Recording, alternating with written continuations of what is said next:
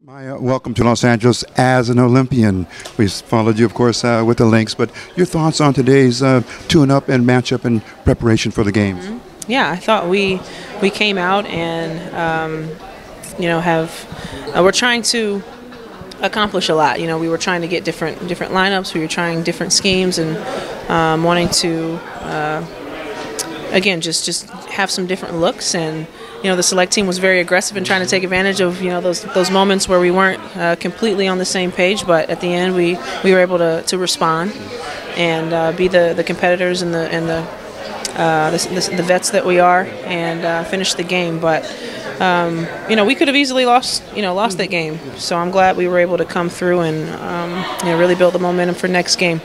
And from a human perspective, just before the game, under the national anthem or with the, the national anthem, the children, the TAPS children, the survivors, uh, speak about that emotion that was going through your, your mind and your body.